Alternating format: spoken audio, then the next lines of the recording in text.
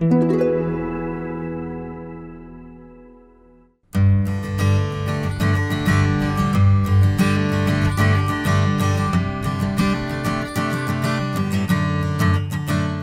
there was a couple of positions that were open in uh, Alberta that they were looking to fill, and they knew that the physician here in Bassano was by himself, and it was pretty stressful to be alone here practicing medicine alone, and uh, with only locum support.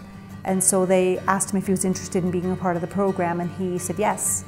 And so when they approached me, uh, I knew that there was a position available in Calgary, and then the position here, and it just sounded more in my wheelhouse, to be honest. It was practicing family medicine, it was part of a team-based approach, and it was a smaller community which really appealed to me.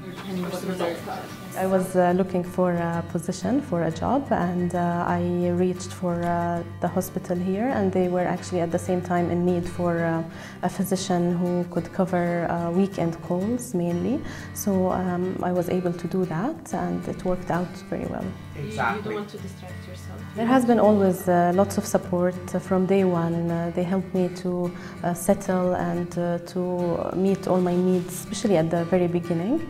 And um, after that, I know that support is available to me whenever I'm, I'm asking for or I need it. See where we're sitting. And in the community as well here, people here, they do appreciate what you do. They want you to be part of what is happening in the community. They invite you for functions and things like that. They're always, you know, willing to help, willing to assist. I mean, that's, that's good. It's a place where the kind of practice that I want, you know, in terms of having your own clinic, having a, an ER coverage, and uh, having a, an inpatient to look after. So this fits into the kind of practice that I, I would love to have. So that's the reason why I'm attracted to this place. You know, lots of times we don't think about what this community has to offer to doctors, but after listening to both of them talk about it's this variety, it's this practice, it's the fact that you can sharpen all of your skills and, and work in a team environment. Uh, all of that really adds to the experience. We are not an island in doing this work. RPAP is essential to our, our whole strategy and the same with Alberta Health Services.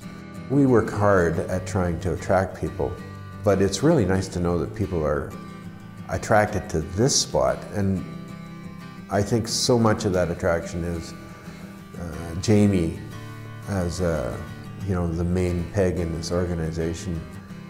We get a lot of students out here, and a lot of those students, when they walk away from this experience, they're not going to forget it. Uh, we may find some of those people coming back.